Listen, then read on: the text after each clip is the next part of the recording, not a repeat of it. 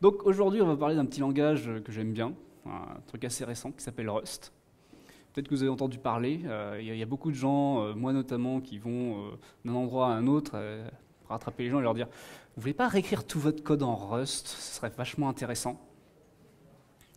Alors pourquoi? Bon, différentes raisons. attendez, juste un petit problème sur mes slides. Hop, voilà. Donc, moi, juste personnellement, je bosse chez Clever Cloud. On est une petite boîte nantaise qui fait de l'hébergement d'applications. On supporte à peu près tout ce qui existe. Et on s'est mis à Rust euh, il, y a, quelques temps parce que c'est un langage qui apporte pas mal de, choses intéressantes pour de la prod. La première question, ce qui m'a amené à ce langage-là d'abord, c'est pourquoi est-ce qu'on écrit des choses en C? Pourquoi on n'utilise pas euh, d'autres langages euh, comme par exemple bah, le Java, le Ruby, etc. pour les trucs pour lesquels on fait du C? Généralement, il y a une histoire de performance. Parce qu'en C, on peut avoir du code qui est extrêmement bas niveau.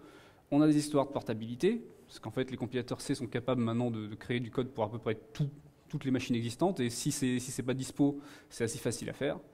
Et il y a des histoires de gestion mémoire, c'est-à-dire que on ne peut pas, sur toutes les devices, avoir par exemple des garbage collectors, voire même des allocateurs. On peut se retrouver sur, des, sur de, l'embarqué, où on a en fait euh, juste toute la mémoire qui est préallouée et on va juste utiliser ça. Et on ne peut pas utiliser tous les langages pour ça. Problème du C. On a beaucoup de problèmes avec le C. C'est un langage qui, même maintenant, en fait, même s'il est simple d'accès, il est extrêmement difficile à utiliser correctement. Parce qu'on va se retrouver assez facilement avec plein de bugs de la gestion mémoire, on va se retrouver avec euh, bah, des, fuites, mémoire, différentes vulnérabilités.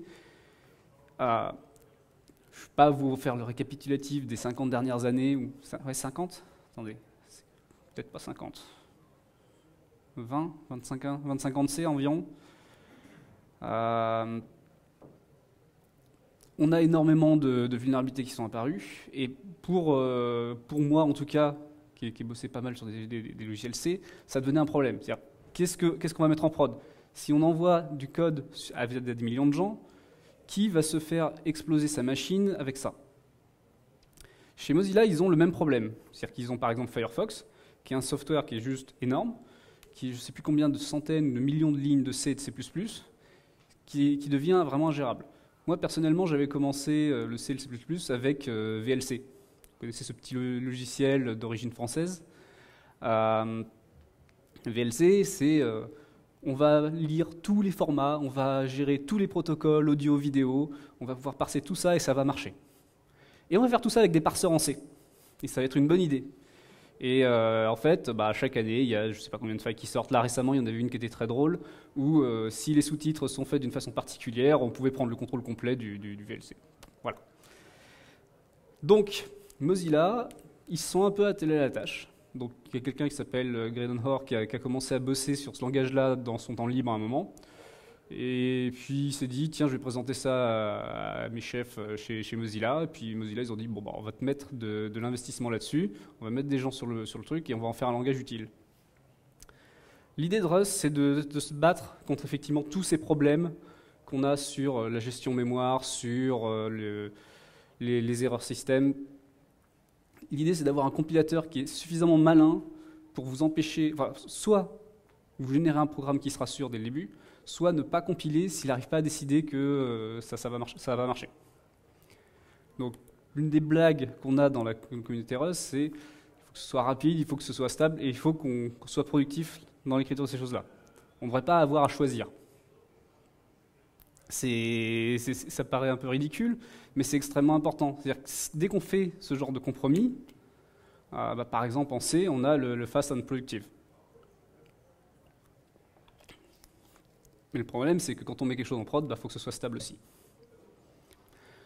Donc, il y a eu pas mal d'idées de base dans ce, dans ce langage.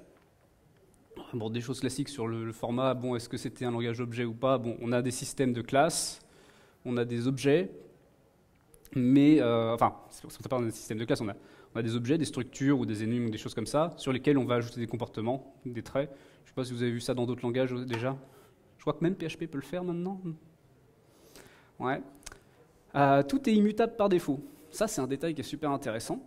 euh, je ne sais pas si vous voyez, si vous écrivez du C ou même du Java, euh, vous déclarez quelque chose, voilà, voilà de la donnée, bah, par défaut, ça va être mutable. C'est-à-dire que si vous voulez déclarer chose, quelque chose comme immutable, vous mettez un const dessus. Donc, les développeurs étant des gens très consciencieux, ils mettent des consts partout là où il faudrait, partout sur toutes les bouts de données qu'on ne va pas modifier. tout le monde fait ça. Je peux vous faire confiance. C'est bien d'être face à une audience qui est vraiment, vraiment consciencieuse. Euh, en C, c'est la même chose. Euh, les développeurs C sont extrêmement attentifs à ça et mettent des consts partout sur tous leurs pointeurs. Et non, en fait, non, ça marche pas. Euh, donc, du coup, ça vous fait quelque chose dans le langage qui est intéressant parce que vous pouvez avoir euh, toute la donnée qui, est marquée comme immutable par défaut. Et le moment où vous en avez vraiment besoin, ça va être mutable. Donc, par exemple, le compilateur va avoir beaucoup plus d'infos sur euh, qu'est-ce qui peut modifier ou pas. C'est-à-dire qu'il va pouvoir savoir, tiens, tel thread et tel thread accèdent à telle partie du système en même temps, mais c'était pas, pas marqué comme mutable. Pourquoi, on s'embêterait à mettre un mutex par-dessus pour, euh, qu'il y ait de la synchronisation? On n'a pas besoin, c'est immutable, tout le monde peut le lire, il euh, n'y a aucun problème. Il y a des choses comme ça. Euh, qu'est-ce qu'on a d'autre? Donc, pas de garbage collection. Ça, c'est quelque chose qui était intéressant parce que quand, quand j'ai commencé à bosser sur ce langage-là, il s'était dit, en fait, on va être comme tous les langages un peu, un peu récents, il faut qu'on ait de la garbage collection parce qu'il n'y a que comme ça qu'on peut gérer vraiment proprement de la mémoire dans certains cas. Et donc, ils avaient mis un truc vaguement basé sur du ref counting.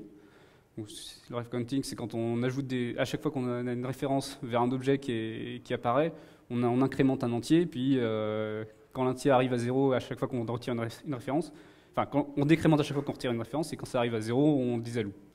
Bon, en fait, après quelques, quelques temps de développement, ils ont fini par se dire on n'en a pas besoin. Alors pourquoi on n'en a pas besoin? C'est parce qu'on a un compilateur qui est suffisamment malin pour savoir qui possède quel bout de données à quel moment et pour allouer et désallouer exactement là où il faut.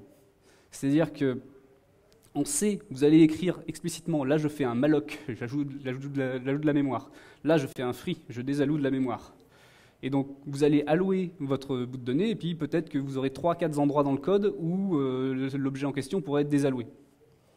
Ben, en Rust, c'est comme ça que ça se passe, sauf que c'est le compilateur qui les écrit, ces trucs-là. C'est le compilateur qui décide exactement quand ça peut être alloué ou désalloué. Donc vous éliminez les use after free, les double free, euh, les dangling pointers, tout un tas de bugs qu'on peut avoir euh, avec, euh, avec, avec ce qu'on écrit en C. Et ça, ça vient, je dirais, gratuitement. C'est pas vous qui, êtes là à décider comment ça va être fait. C'est le compilateur qui le fait pour vous. Et c'est quelque chose d'extrêmement puissant parce que quand, vous êtes en train d'écrire du C, vous êtes en train de vous dire bon, comment est-ce que je vais mettre mon mapping mémoire, comment est-ce que je veux stocker tel bout de données, quand est-ce que je désalloue, est-ce qu'il faut que je fasse attention à désoler au bon moment, sinon je vais avoir des fuites mémoire, des choses comme ça. En Rust, euh, on ne se pose pas beaucoup la question. On se pose même tellement pas la question que récemment il y a des gens qui ont découvert. Euh, bon, vous connaissez la différence stack, heap, tout ça. C'est-à-dire qu'à chaque fois qu'on fait des appels de fonctions, on, on en a un bout de mémoire on, bouge, on alloue des, petits, bouts de ce truc-là, on appelle une fonction, hop, on alloue un autre petit bout, et à chaque fois, le, petit bout qu'on alloue dedans, euh, ça correspond à la taille des variables locales. Et typiquement, euh, on peut accéder à des bouts de données qui sont un peu plus haut dans la stack, enfin, ou un peu plus bas. Toujours le, sens me, confuse un peu à chaque fois. Euh, et la heap, c'est là où, par exemple, justement, on va faire les malloc, les free, etc. Bah, le compilateur est suffisamment malin pour aller quasiment tout mettre dans la stack. C'est-à-dire qu'on euh, va avoir un objet de, qui a une longue durée de vie dans le programme, on l'alloue quelque part au début du programme, et puis après, on, par exemple dans le main, et après on appelle le reste. Bah, en fait, euh, le compilateur va peut-être pouvoir décider que ce machin-là, bah, il est dans la stack euh, de, la fonction main, puis le reste du code y fait référence, et jamais on a mis quoi que ce soit dans la heap. C'est juste récemment que les gens commencent à se dire, mais en fait, il fait ça le compilateur et euh, on, se demandait, on savait même pas où la, donnée allait quoi. Donc ça pose assez peu de problèmes. Euh, donc cette idée des zero cost abstraction, c'est quelque chose d'assez important dans la communauté. Donc vous avez le compilateur qui a offert toutes les allocations mémoire, toutes ces choses-là. Il y a plein de choses, plein de vérifications qui vont être faites par le compilateur et qui derrière doivent compiler vers du code qui par contre sera euh, sûr, sera stable. Par exemple, sur tout ce qui est euh, gestion d'erreurs, euh, vous connaissez le type option? C'est un, type de données, c'est une énum qui peut être soit j'ai pas de valeur, soit voilà une valeur de quelque chose. Ça évite par exemple de renvoyer des, pointeurs ou des, un nul ou des choses comme ça en Java. ce qui est intéressant avec ce type, c'est que euh, vous, récupérez une option. Si vous voulez obtenir la valeur qu'il y a dedans sans vérifier qu'il y en a vraiment une, vous avez une méthode que vous pouvez faire, que vous appelez, qui s'appelle unwrap. Et c'est le moment où vous dites explicitement en Rust, là j'ai décidé de faire quelque chose de sale, et peut-être que je prends le risque que mon programme crache.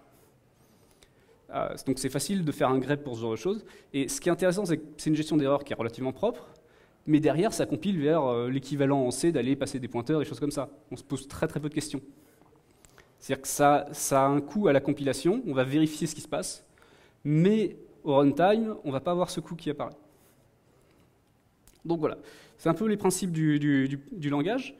Euh, voilà à quoi ça ressemble, en gros. Vous, connaîtrez, vous reconnaîtrez, reconnaîtrez peut-être pas mal d'influences de différents langages. Là, on a juste une fonction, voilà, définit le type d'entrée, type de sortie, etc. Euh, la dernière expression d'une fonction, c'est la, valeur de retour. On a des structures de données, là encore rien d'anormal. On a donc euh, des enums. Donc je vous parlais du type option. On a par exemple aussi le type result. Le type result euh, peut en plus embarquer des erreurs. Tout ça, c'est des types qui sont génériques. On a beaucoup de génériques dans ce langage-là, on utilise pas mal ça. Alors je sais qu'il y a un débat dans certaines communautés de langages qui viennent de chez Google qui disent que les génériques ça sert à rien. Il ne faut pas les écouter, c'est très très très très très utile. Et les génériques plus euh, des enums plus du pattern matching comme on a là en dessous, euh, ça, ça vous facilite tellement la vie. Il y en a qui font un peu de Scala. Bon, vous serez d'accord que ça facilite la vie. Voilà. Ceux qui font pas de Scala, tentez le coup, vous verrez, c'est intéressant aussi. Euh, donc je vous parlais des traits. Là, ce qui est intéressant, c'est que je définis un trait. C'est comme une interface en Java. Voilà, voilà telle fonction doit être implémentée sur, sur voilà, je définis une interface qui, doit avoir telle fonction, et si j'ai telle fonction, je peux découler telle autre fonction, telle autre fonction. on a juste à implémenter la fonction en question sur la structure ou autre. Ça évite d'avoir en fait des hiérarchies de, classes dans tous les sens, ou avoir par exemple, je ne sais pas, vous avez votre, bibliothèque de collection, avec euh, les, vecteurs, les hmaps, les h7, les machins, et tout le monde qui hérite du même, parce que bah, on veut essayer d'avoir des, méthodes qui sont, qui sont chez les uns et les autres. Avec les traits, vous pouvez aller mettre les traits que vous voulez sur les structures que vous voulez. Euh, qu'est-ce qu'on a après? On peut faire des closures. C'est un truc extrêmement utile, euh, utile en Rust. Sachant que les closures peuvent savoir si les données qu'elles vont récupérer, si elles prennent des données du contexte ou pas, si ces données vont être modifiées ou pas. Donc on peut faire des choses intéressantes où on prend une closure et on qui embarque des données, on l'envoie à un autre thread et on ne se pose pas de questions. Et tout ça, ça vient grâce à un bout du compilo qui s'appelle le borrow checker.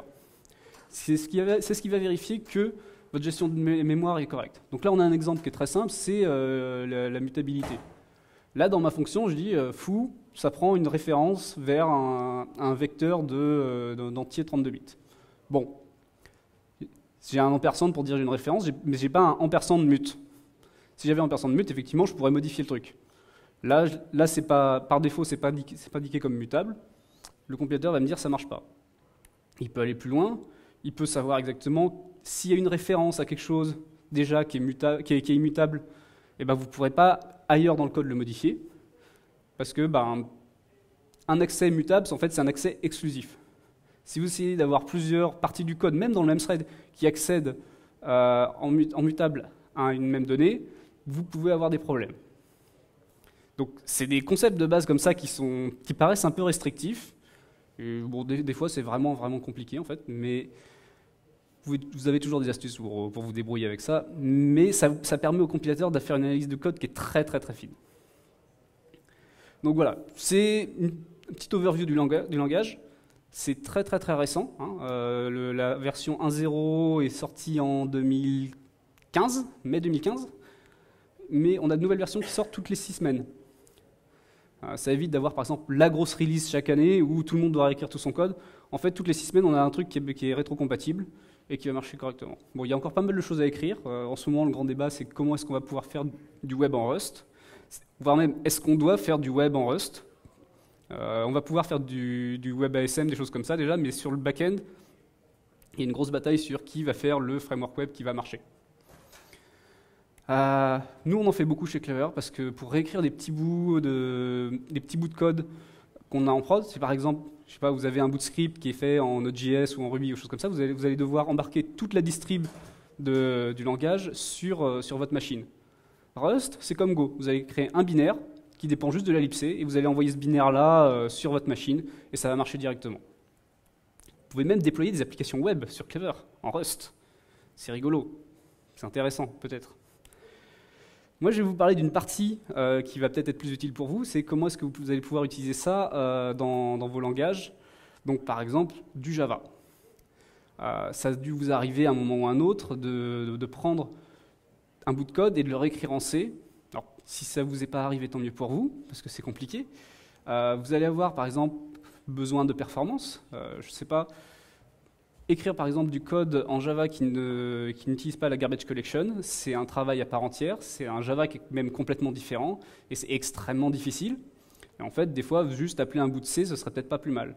moi, ce que, ce que je veux vous dire, c'est n'écrivez pas ça en C, écrivez-le en Rust. Ce sera beaucoup plus simple pour vous. Donc, pourquoi, pourquoi Rust peut se faire passer pour du C, exactement. On peut exporter des fonctions qui ressemblent à des fonctions C sans aucun problème. On peut faire des extensions pour du Ruby, du Node, du Python, n'importe quel langage. Comme je vous ai dit, on peut faire du WebASM ou des choses comme ça. Et en Java, ben, on peut causer facilement à GNI et GNA. Euh, donc, je vous parlais de productivité tout à l'heure. Et de... La productivité, c'est quelque chose qui est... Enfin, productivité et stabilité. C'est quelque chose qui est important, c'est que les gens veulent... Imaginent la productivité comme étant, je prends un développeur junior, et rapidement il va pouvoir faire quelque chose d'utile. Souvent, c'est comme ça que les gens vont l'imaginer. En Rust, vous allez avoir une barrière à l'entrée qui est un peu dure. Ça, va être un peu dur de, commencer à s'y mettre. Par contre, entre le moment où vous commencez et le moment où vous allez être capable de mettre en production quelque chose qui est stable, euh, ce sera beaucoup plus rapide que ce que vous aurez en C ou en Java, justement parce que vous avez un compilateur qui va être là pour vous aider à, coder correctement. Euh, moi, à peu près au milieu de, ma carrière de développeur Rust, qui est assez courte, mais quand même quelques années, euh, j'ai eu un fils. J'étais très content. Et pendant quelques mois, je devais me lever toutes les nuits à 4 heures du mat pour le nourrir. Euh, à votre avis, qu'est-ce qui se serait passé si j'avais continué à développer en Ruby à ce moment-là? Euh, bah, J'aurais mis en prod des trucs qui marchaient pas. J'écrivais du Rust, et le compilateur il me disait Non, mais là, tu es fatigué, tu as mis ça, c'est faux. Non, mais là, tu as écrit ça et c'est faux.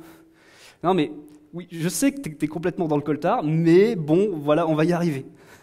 C'est le moment où on commence à comprendre que le compilateur, il n'est pas là pour vous empêcher de coder, il est là pour vous aider à obtenir la meilleure version du code que vous voulez. Et donc, ouais, j'ai finalement eu peu de bugs en prod euh, comme ça pendant cette période-là. Euh, alors, pourtant, j'étais fatigué. Euh, pourquoi on ferait du Rust plutôt que du Java? Ah, bah, Il n'y a pas de garbage collector. On peut écrire du code qui est très très très très bas niveau. Euh, ça va être tout petit. On a aussi, comme je vous ai dit, quelques fonctionnalités qui sont intéressantes. On a des lambdas qui marchent à peu près, on a des vrais types options, euh, on a des tuples. C'est utile les tuples. Hein.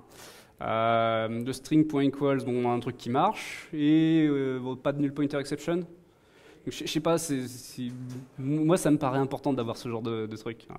J'aime bien un langage qui marche. Donc euh, le problème que je vous propose d'étudier sur la réécriture de Java en Rust, du coup, euh, c'est un petit problème que, j'ai eu euh, quand à un moment je devais faire une application, une application mobile sur iOS et Android. Et ça devait être un protocole de communication, on devait avoir la même façon de fonctionner dans les deux. Et on s'est dit, est-ce que je prends je ne sais pas combien de mois pour écrire en Objective-C ou Swift et en Java ou qu'est-ce qu'il y avait à l'époque c'était pas encore l'époque Kotlin. Euh, c'était peut-être Groovy. Ouais, Groovy commençait à marcher à ce moment-là. Et on s'est rendu compte que ça allait être une galère monstrueuse d'avoir la même implémentation de deux côtés. Donc je me suis dit, bah, pourquoi on ne ferait pas ça en Rust Et on fait des bindings de deux côtés. Les bindings vers Swift, vers Objective-C, c'est assez simple, c'est comme appeler du C. Et euh, bah, sur, sur Android, c'est du GNI ou GNA. Ça devrait fonctionner. Donc, on va essayer de l'écrire une fois et de le faire marcher partout. Le, problème dont je vous parlais, c'est pas celui qu'on va faire aujourd'hui, parce qu'un protocole de communication avec de la crypto et des machins dans tous les sens, ça va prendre un peu de temps. Là, c'est un plus petit problème, c'est un index inversé. C'est un problème qui est intéressant. Euh, quand vous voulez faire un moteur de recherche, un très très très basique, il y a une méthode qui est très simple. On vous donne un corpus de texte, vous allez séparer tous les mots dans votre corpus de texte, et vous allez faire une liste de tel mot apparaît dans tel, euh, tel texte, tel texte, tel texte. Donc là, on a par exemple les trois phrases, et euh, on a par exemple le mot you qui apparaît dans l'élément 0 et l'élément 1. Et vous allez pouvoir faire ça pour des corpus de texte énormes.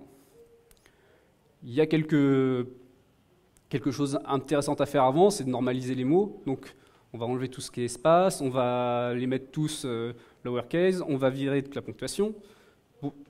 On peut même aller beaucoup plus loin et en fait euh, enlever des, certains suffixes, euh, par exemple pour, le, pour, les pluriels ou pour les genres sur certains mots, ce qui permet du coup de, garder le sens du mot, mais de ne pas avoir trop de versions différentes. on va faire un truc très simple, c'est on cherche dans notre index pour, un mot, et si on doit chercher pour euh, une phrase, bah, on va faire plusieurs recherches et on va faire l'intersection des résultats. C'est-à-dire que si mon mot, si mon mot 1, mon premier mot arrive dans les textes 0 et 1 et que mon deuxième mot il arrive dans les textes 1 et 2, ben, euh, mon résultat ça va être 1. Donc en Java c'est super simple à implémenter euh, parce que bon, vous allez avoir une, une HMAP qui a un mot et euh, qui, envoie, qui envoie un set d'entiers qui sont les index de, mon corpus de texte. Quelques, quelques méthodes pour insérer, pour, pour rechercher un mot et puis pour chercher une string. L'insertion, ben, je vais vous dire, voilà, voilà, le, voilà le texte. Vous allez le... Attendez, qu'est-ce que j'ai écrit? Qui sert à quoi déjà mon ID Si, oui.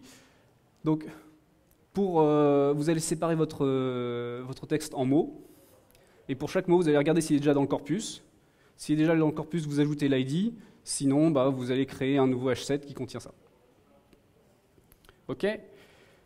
Et du coup, pour la recherche, bah, vous prenez votre mot que vous avez normalisé et vous regardez si c'est là dans, la HMAP. Et du coup, vous retrouvez le, set d'entier qui correspond au, où on est. Pour rechercher une string, bah, ça va être la même chose. Vous, allez prendre votre chaîne de caractères, vous allez séparer en mots et vous allez chercher pour chaque mot. Avec la normalisation, on, fait, on enlève les, les white space, on fait lowercase et on enlève toute la ponctuation. Bon. Alors j'avais fait cette conf il y a quelques mois à Devox Belgique. Du coup, j'avais récupéré le corpus euh, du, CFP.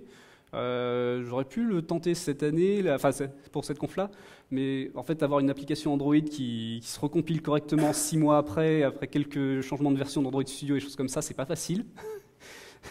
en fait, par miracle, j'avais encore l'application sur mon téléphone, donc euh, pour la démo ça va marcher, mais j'aurais pas pu le recompiler aujourd'hui. Euh, donc, les choses simples, on, on récupère le JSON, on le charge au début, on, on met ça dans l'index, et hop, c'est censé marcher. En Rust, donc, comment on va se mettre à Rust? Il va nous falloir un petit peu d'étapes.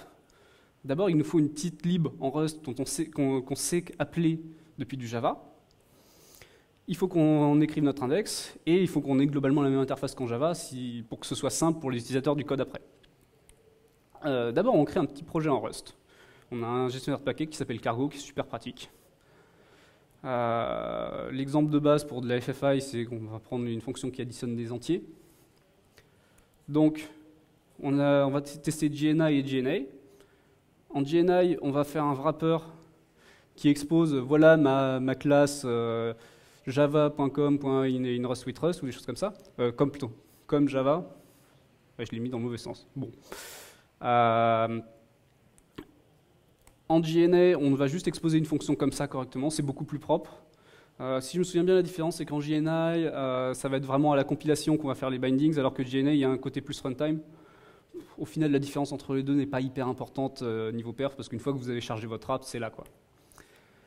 En GNI, bah, du coup, vous avez, directement, vous avez directement déclaré votre fonction comme étant dans cette classe-là, donc il devrait réussir à la trouver. En GNA, euh, vous devez aller chercher euh, dans tel lib, on expose telle fonction, etc. Ça reste extrêmement simple à appeler.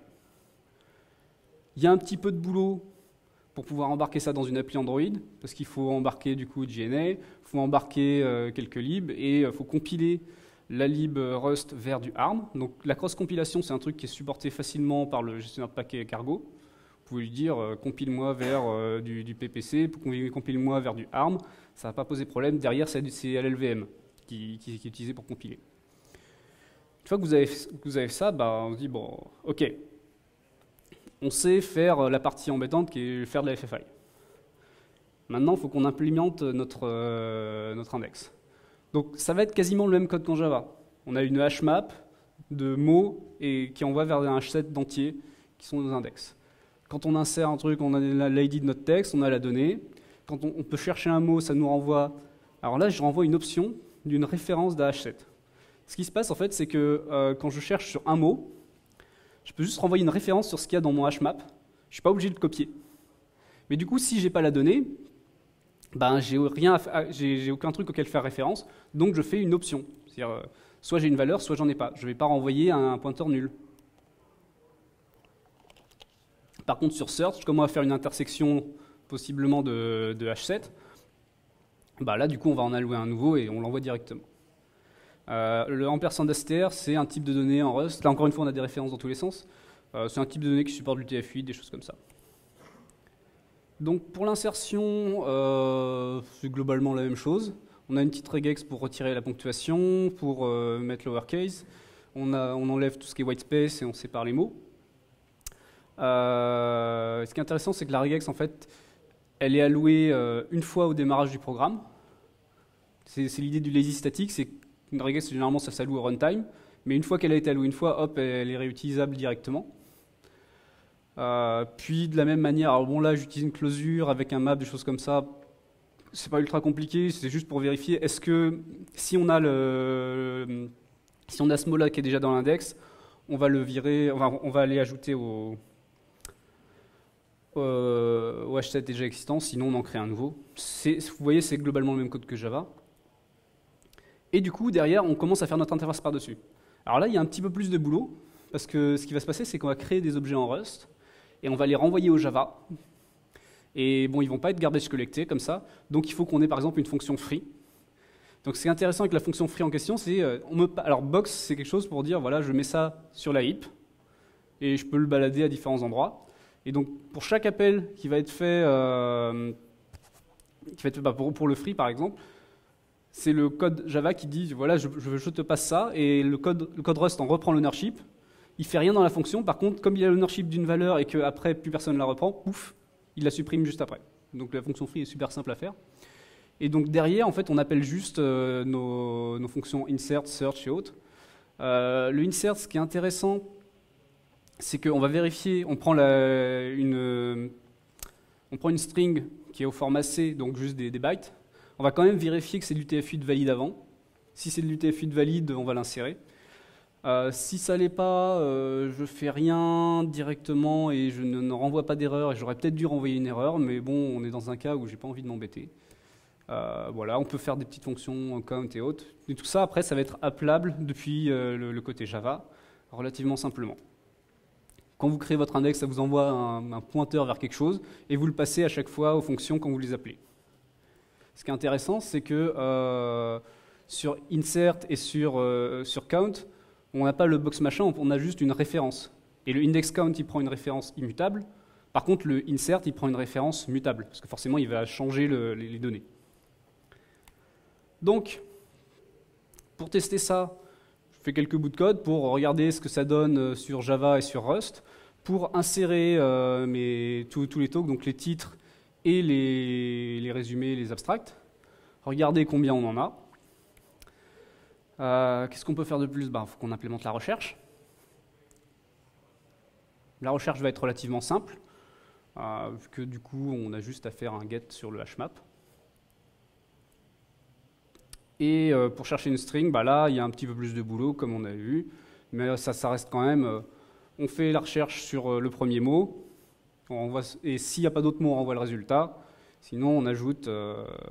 Donc, il y a un truc à voir, c'est qu'en Rust, il y a pas mal de fold, map, filter, etc., des, trucs qu'on voit notamment dans les langages fonctionnels. ce qui est intéressant avec ces, ces méthodes à base d'itérateurs, c'est que derrière, ça compile vers du code qui est très performant. C'est comme si on l'avait écrit en C à la main avec des boucles. Euh, ça, peut, ça peut faire de l'élision de, de, de, bound check, c'est-à-dire que par exemple vous allez faire une liste de filters, maps, etc. sur le contenu d'un vecteur, bah, il ne va pas vérifier constamment qu'on euh, est bien à la fin du vecteur ou pas. et il va streamer les, comportements très facilement. encore une fois, c'est cette idée de zero cost abstraction. Vous allez avoir du code qui paraît haut niveau, mais qui se transmet vers une, fonctionnalité bas niveau qui est solide. Euh, donc, le problème, c'est qu'il faut, faut renvoyer le résultat quand même. Euh, donc il faut que je trouve un moyen de transformer mon H7 vers un truc qui, va être utilisable depuis le, depuis, euh, depuis, le Java. Donc l'idée c'est que je vais juste faire une, petite interface où je peux regarder dans la, taille de mon set et dire je veux savoir à, la place, à cette place-là euh, quel élément on a et quel, quel, index c'est. Et par-dessus ça, du coup, je vais pouvoir faire ma fonction search et l'appeler depuis le Java. C'est un peu verbeux, Honnêtement, euh, c'est le moment où on va faire un petit bout de Java par-dessus pour faire une interface sympa. Euh, parce que bon là, euh, ça ressemble vraiment à, on appelle du C, on, appelle notre, notre vecteur, notre HMAP et on va faire une boucle C avec des index, des choses comme ça. Mais une fois qu'on a fait l'interface, ça marche à peu près. Et donc, au final, on se retrouve avec un bout de code, on va pouvoir tester les différences entre Java et Rust. Donc, qu'est-ce qui va se passer? Alors, pendant que je joue, je vous laisse regarder ce gif super intéressant. Euh, est-ce que j'ai mon... Ouais, ok. Alors... Tac. Non Ça l'a pas fait? Ok. Donc, j'ai mon petit bout de Java par là. Et donc, je vais vous lancer cette application qui s'appelle Search qui va d'abord charger le corpus dans les deux, euh, dans les deux bouts de code, enfin dans, la version Java et dans la version euh, Rust. Ça peut prendre un petit peu de temps, parce qu'il y a une des versions qui est un peu plus lente que l'autre, genre vachement plus lente. Et du coup, on va tester, euh, par exemple, bah, je sais que j'avais fait un talk sur Rust à cette conférence-là, on va faire une recherche rapidement. Hop. Et voilà, et bon, encore une fois, le Rust est plus rapide que le Java on, obtient notre corpus, euh, c'est assez intéressant. Bon, donc là au final, on a réussi à avoir deux implémentations correctes d'un petit index inversé relativement rapidement en Java en Rust. On voit que c'est plus rapide en Rust qu'en Java. Tiens, on va faire une autre recherche. Voilà, on a les mêmes, n'a pas les mêmes résultats. Donc en fait, c'est le truc qui était drôle quand j'ai implémenté ça.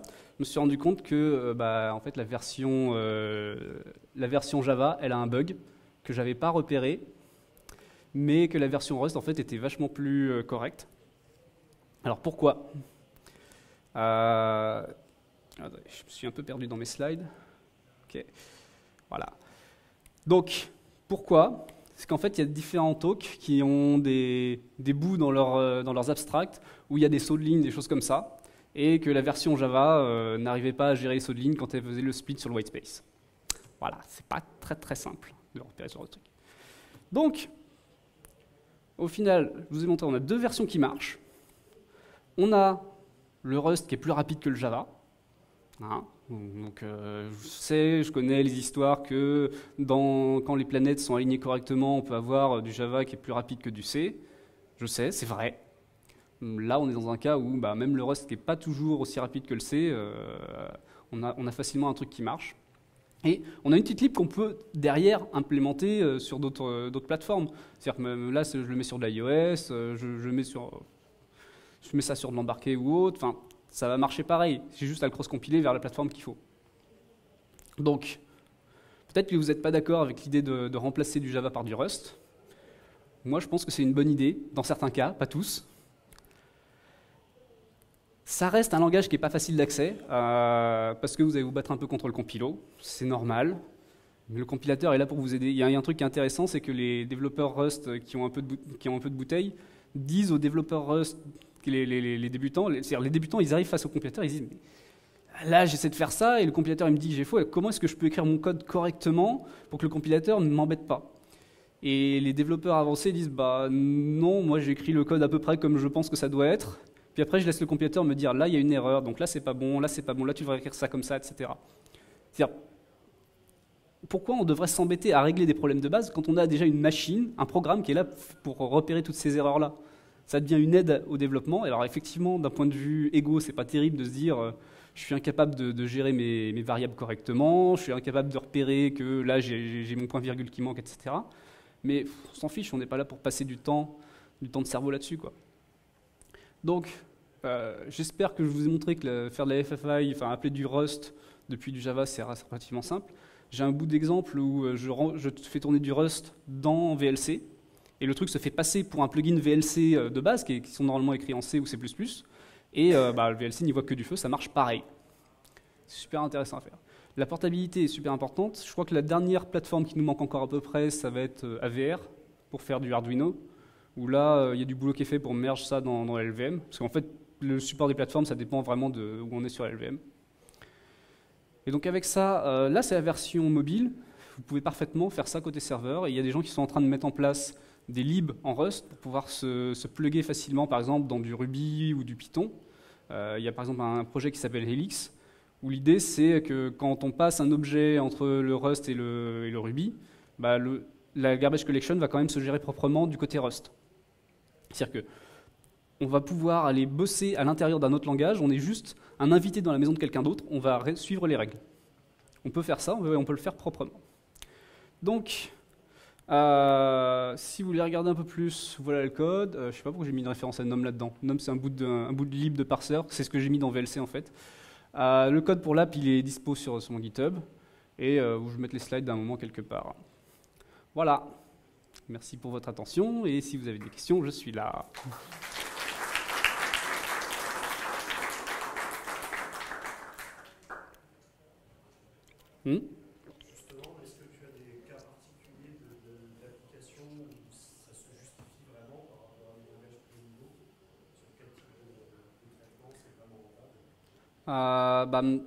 un exemple dont, je parlais tout à l'heure, il y a des bouts de, Bash ou Python ou des choses comme ça qu'on a réécrit en Rust chez Clever.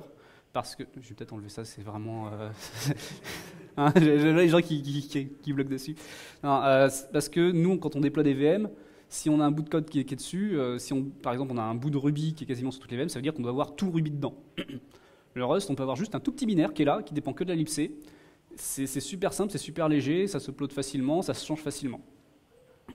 Euh, c'est intéressant aussi quand on a besoin énorme de stabilité. Parce que les, programmes Rust que j'ai écrits, c'est pas pour me vanter, hein, mais ils crachent quasiment jamais. Parce que ben, on, a, le compilo qui va régler plein de problèmes. Il y a encore des erreurs. Hein. Euh, je ne suis pas le, développeur le meilleur du monde, euh, et je sais que je fais, encore des conneries, mais le compilateur m'aide à ça. dans, dans, le web, j'y crois pas encore trop. Il y a beaucoup de gens qui font des jeux maintenant, des jeux en Rust. Dans l'embarqué, il y a pas mal de boulot intéressant. Euh, notamment, récemment, il y a quelqu'un qui a sorti tout un framework de preemptive multithreading euh, en Rust, où c'est le, type system qui, gère, euh, qui, va, éviter, par exemple, les data races. C'est-à-dire qu'il a fait son, système pour qu'il puisse, puisse, avoir plusieurs tâches qui s'exécutent sur son microcontrôleur, et il n'y a pas de mutex sur ces données, c'est vraiment à la compilation le type system qui garantit que euh, chaque tâche accédera les bonnes données au bon, moment et ne vont pas se télescoper. Et même dans la communauté Rust, quand cette personne-là a sorti ce, bout de code, personne n'y croyait, tellement c'était fou. Quoi. Parce que ben, on peut faire ça maintenant avec ce compilo. Oui.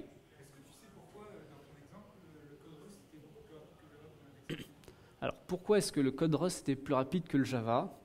Euh, est-ce que je peux dire ça sans troller Java? Euh, Alors, il y, a une, raison, ça peut être déjà, bon, là, en fait, la, JVM sur Android n'est pas terrible, ça on le sait. Euh, le code Java, il faut le temps que peut-être la, JVM se lance et commence à faire des optimisations. mais juste, en fait, on a des structures de données qui sont extrêmement efficaces et qui, qui, sont assez compétitives en fait avec même celles qui sont écrites en C. Et euh, il y a un truc que j'ai pas fait, c'est que là, le JSON, il est parsé côté Java, et après, on ajoute version Java et version Rust à partir de là. Mais euh, il y a des parseurs JSON en Rust qui sont extrêmement rapides aussi, et qui commencent à être embarqués ailleurs maintenant, justement parce que bah, ils sont vachement plus sympas à utiliser. Quoi. Oui? Ah, pardon. non, mais on, verra après. Alors, vas-y.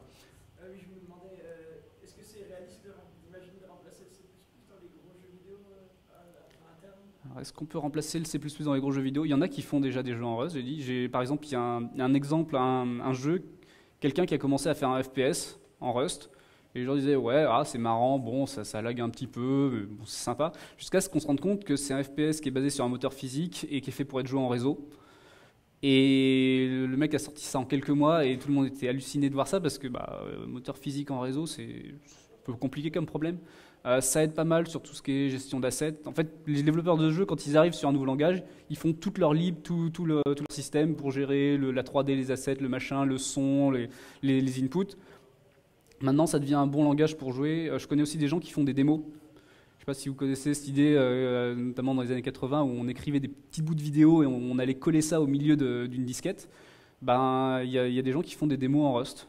Donc c'est assez, adapté, parce que justement c'est assez bas niveau, on va pas avoir de garbage collection qui, font perdre, qui fait perdre du temps, et choses comme ça.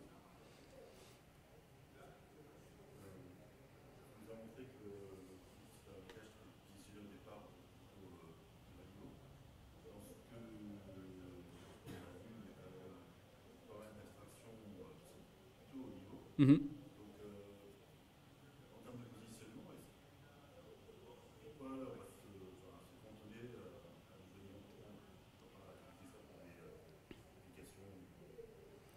Pourquoi est-ce qu'on utiliserait plus du Rust pour du bas niveau que du haut niveau euh, Alors là, c'est vraiment un avis personnel. Je pense que niveau outillage, euh, par exemple, pour faire une appli web en CRUD, des choses comme ça, vous aurez beaucoup plus vite fait de faire, ça avec un bon framework en Java, en Ruby, en Scala, que en Rust. Parce que, bah, par exemple, le fait d'avoir de la garbage collection, ça rend beaucoup de choses beaucoup plus simples.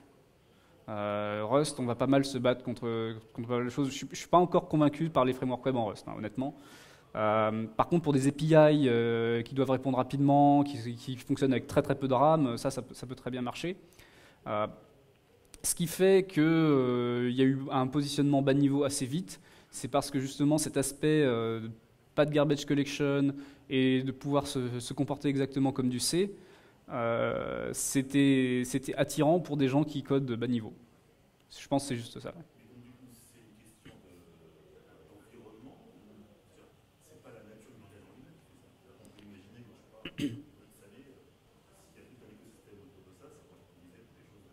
ça, peut carrément être utilisé dans d'autres contextes, effectivement. Euh, bah, par exemple, l'une des choses là, que les gens sont en train de tenter en ce moment, c'est de faire tourner du Rust en WebASM. Donc vraiment en front-end euh, de vos applications pour causer au DOM, etc. Et euh, faire ça plutôt que d'autres bouts de JavaScript. C'est quelque chose qui est, super intéressant. En fait, il faut que les communautés se créent sur ces choses-là. Oui.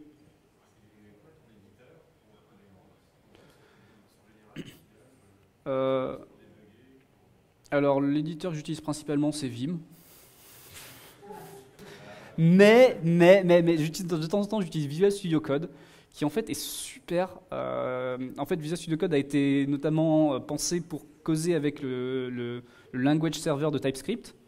Donc TypeScript, en fait, a un bout de, un service qui tourne sur la machine et on lui envoie du code et ça, fait le type check et ça, indique à l'éditeur qu'est-ce qu'il va modifier. Ça évite d'avoir à tout reparser à chaque fois, le truc garde un contexte. Eh ben, il y a le Rust Language Server qui implémente la même interface, qui est packagé de base avec Rust maintenant. Et du coup, bah, dans, Visual Studio Code, ça marche super bien. Et sinon, bah, on a Cargo, le package manager, où ils ont euh, recruté les gens qui bossaient sur Bundler pour bosser dessus.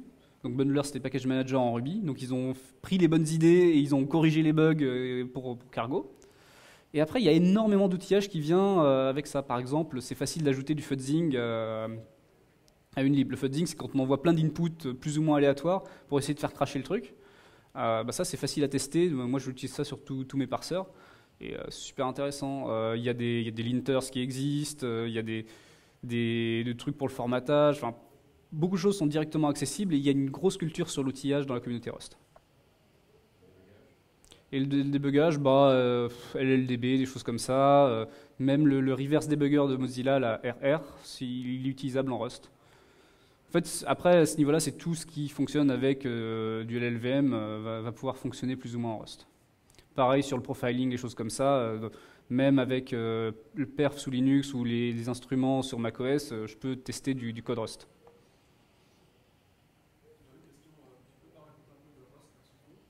Rust versus Go? Euh, je pense qu'ils n'ont pas le même positionnement maintenant. Les, gens essaient de les mettre l'un contre l'autre assez régulièrement. Euh, j'aime bien troller un peu là-dessus, mais au final, Go est bien pour euh, pas mal de, petites API, pas mal de, web, de choses comme ça. Mais ce sera pas, il n'aura clairement pas le même positionnement bas niveau. Voilà. Après, sur, sur le langage, sur vraiment la comparaison entre les deux, et là, ça, on rentre vraiment dans la vie personnelle il faudrait vraiment que Go ait un package manager correct, parce que tous les six mois je fais du Go et tous les six mois ça m'énerve. Après sur le langage, le langage est facile d'accès, c'est vraiment sa, grande qualité. C'est aussi son gros défaut, c'est qu'il manque pas mal de choses, comme on a vu tout ce qui est générique, euh, pattern matching et des énumes, des choses comme ça. Euh, c'est des choses qui prennent du temps à apprendre, mais une fois qu'on est confortable avec ça en Rust, et ça arrive quand même assez rapidement, une fois qu'on est confortable, on écrit facilement du code qui est, propre. Mais c'est deux langages différents et euh, Go, honnêtement, j'utilise pour pas mal de trucs. Il y a notamment des, une, lib standard qui est très très bonne qualité, euh, notamment la partie crypto que j'utilise beaucoup. Elle a été écrite par des gens de chez Google et il manque deux trois trucs, mais globalement c'est super bien écrit. Rust à côté, c'est pas un langage qui vient batteries included, c'est-à-dire la, lib standard, elle est très très très légère parce qu'ils ont voulu attendre que des patterns émergent de la part de la communauté. C'est par exemple, ne voulez pas se retrouver avec ce qu'on a eu en Python où, euh, je sais pas, vous voulez faire une requête HTTP euh, et vous avez URL lib 1, 2, 3, vous avez request, vous avez machin, et en fait, les gens vont continuer, à utiliser la même euh, lib qui est dans la lib standard, alors que tous les gens qui font du Python un peu avancé savent qu'il ne faut pas. Mais comme c'est dans la lib standard, on ne peut pas bouger parce que c'est là, et donc tout le monde va utiliser ce qui est dans la lib standard, parce que bah, si c'est dans la lib standard, c'est que c'est correct. En Rust, on standardise les trucs au fur et à mesure mais ça prend du temps parce que euh, on attend de voir les, les, patterns émerger. Quoi. Alors, ouais.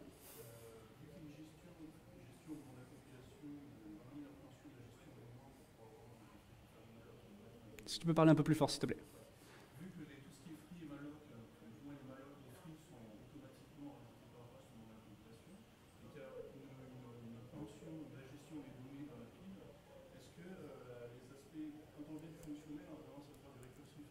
Mhm. Détectés Alors ça, c'est un, vieux débat en Rust. Euh, on n'a pas de TCO en Rust. Euh, on n'a pas la tail call optimization. Euh, en fait, parce que ça posait des problèmes sur justement la gestion des types et le borrow checker. Et il faut savoir que les gens qui ont bossé assez tôt sur le compilateur Rust, c'était des gens qui faisaient pas mal de fonctionnels, notamment des gens qui faisaient du ML. Et ils ont dit, bah, on aimerait bien, mais on peut pas. Et c'est un vieux débat hein, là-dessus. Mais après, on a pas mal de choses où Rust va générer du code qui est quand même extrêmement performant, notamment parce que tous ces itérateurs, etc., par exemple, ça se vectorise super bien. Donc, euh, on, va, passer sur, sur un vecteur donné, bah, on va utiliser du SIMD, des choses comme ça, assez naturellement en fait.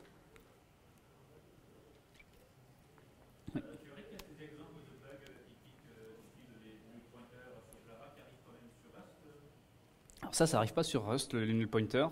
Euh, alors il y a un truc en Rust, c'est qu'on peut faire du code, euh, on a, un tag unsafe, où on peut dire euh, là-dedans, je fais quelque chose que le compilateur ne, peut pas valider, et mon contrat avec le compilateur, c'est en supposant que là-dedans ça marche, eh ben, valide-moi le reste du code.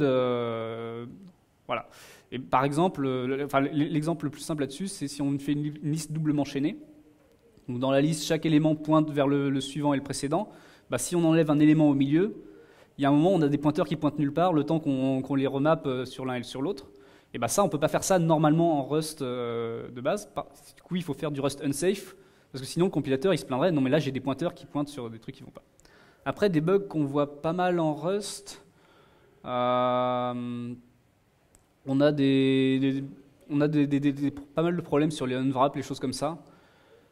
Donc, en fait des gens qui ont un moment, un moment pris un raccourci et euh, pensaient que ça allait être bon et euh, voilà. C'est humain hein, euh, on a tous du code comme ça. Par contre on peut faire un grep assez facile sur ces choses là oui alors oui. Je sais plus si ça a été émergé dans, dans, le compilateur stable mais je sais qu'il y a des gens qui bossaient dessus. Sur la compilation incrémentale ok Bon, bah merci bien.